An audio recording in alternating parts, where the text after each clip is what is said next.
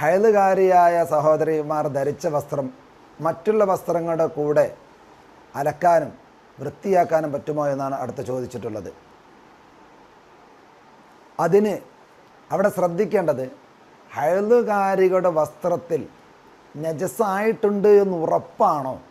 എങ്കിൽ ആ നജസായി എന്ന് ഉറപ്പായ വസ്ത്രം മറ്റുള്ള വസ്ത്രത്തിന്റെ കൂടെ ഒന്നിച്ച് ഒരു വസ്ത്രത്തിൽ ഒരു പാത്രത്തിലിട്ട് അലക്കുന്ന സമയത്ത് മറ്റുള്ള വസ്ത്രങ്ങൾ കൂടി ആവശ്യമില്ലാത്ത നജസാക്കലാണ് ആവശ്യമില്ലാത്ത നജസുകൾ ആക്കാൻ പാടില്ല എന്നുള്ളതാണ് മസാല എന്നാൽ ചിലപ്പോൾ അലക്കേണ്ടുന്ന സൗകര്യത്തിന് വേണ്ടി ചിലപ്പോൾ അങ്ങനെ ചെയ്യേണ്ടി വരും.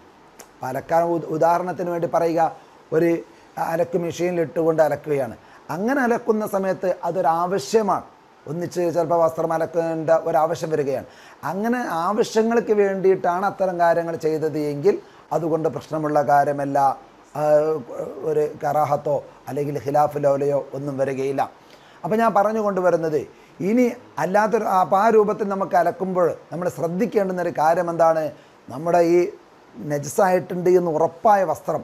ആ വസ്ത്രങ്ങളും മറ്റുള്ള വസ്ത്രങ്ങളും എല്ലാം ഒന്നിച്ചിട്ട് അലക്കുന്ന സമയത്ത് ആ വസ്ത്രങ്ങൾ മൊത്തം മുത്തനജിസാവുകയാണ് ഒരു ബക്കറ്റിലോ അല്ലെങ്കിൽ ഒരു വാഷിംഗ് മെഷീനിലോ ഇട്ടുകൊണ്ട് ഒന്നിച്ച് നമ്മൾ അലക്കുമ്പോൾ അതെല്ലാം മുത്തനജിസായിട്ടുണ്ട് അതുകൊണ്ട് തന്നെ അലക്കി ആ രക്തത്തിന്റെ തടിയെല്ലാം പോയതിന് ശേഷം വൃത്തിയായതിനു ശേഷം തടി നജസിന്റെ ആ രക്തത്തിന്റെ മണം രുചി വാസന ഇവകളെല്ലാം പോകുമ്പോഴാണ് വൃത്തിയാകുന്നത്. ആ വൃത്തിയായതിനു ശേഷം അതിലൂടെ നല്ല ശുദ്ധിയുള്ള ശുദ്ധമായ വെള്ളം ഒഴുക്ക് വെള്ളം ഒഴിച്ചുകൊണ്ട് അതിന് വൃത്തിയാക്കണം. എന്നാൽ മാത്രമേ ആ വസ്ത്രങ്ങൾ ശുദ്ധിയാകൂ. ഇല്ലെങ്കിൽ ഈ മെൻസസുകാരിട്ട വസ്ത്രം മാത്രമേ നജിസുണ്ടായിരുന്നുള്ളൂ. അത് ഒന്നിച്ചിട്ട് അലക്കുമ്പോൾ എല്ലാ വസ്ത്രവും നജസാകുന്ന പ്രശ്നം വരും. എല്ലാ വസ്ത്രങ്ങളും മൊത്തം നജസായി പോകും. അതുകൊണ്ട് തന്നെ ഒരു കാര്യം നമ്മൾ ശ്രദ്ധിക്കേണ്ടതാണ്. ഇനി നജിസായിട്ടുണ്ട് എന്ന് ഉറപ്പില്ലാത്ത വസ്ത്രങ്ങളാണ് അവിടെ നമ്മൾ നോക്കണം നജസാവാൻ കൂടുതൽ സാധ്യതയുണ്ട്. കൂടുതൽ സാധ്യതയുള്ള തരം വസ്ത്രങ്ങളാണ് അത്തരം വസ്ത്രങ്ങളാണെങ്കിലും ഇത്തരം കാര്യങ്ങൾ സൂക്ഷിക്കലാണ് ഏറ്റവും നല്ലത്. നിർബന്ധമില്ല എങ്കിലും. അതേസമയം നജസ്സൊന്നായിട്ടില്ല ഒരു മെൻസസുകാരിയായ ഒരു സഹോദരി ധരിച്ച വസ്ത്രമാണ് എന്നതുകൊണ്ട് മാത്രം മറ്റുള്ള വസ്ത്രത്തിന്റെ കൂടെ ഇട്ട് അലക്കുന്നത് കൊണ്ട് കഴുകുന്നത് കൊണ്ട് വൃത്തിയാക്കുന്നത് കൊണ്ട് യാതൊരു തകരാറും പ്രശ്നവും അതിലില്ല. ഇനി അതിന്റെ കൂട്ടത്തിലുള്ള ഒരു ചോദ്യം ഇങ്ങനെയുള്ള വസ്ത്രങ്ങൾ കെലിമ ചൊല്ലിക്കൊണ്ട് കഴുകി വൃത്തിയാക്കണം എന്നുണ്ടോ? അങ്ങനെയൊന്നുമില്ല.